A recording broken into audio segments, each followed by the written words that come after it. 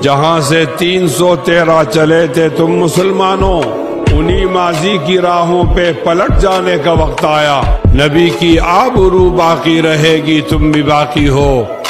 वगर ना फिर गुलामी में उलझ जाने का वक्त आया।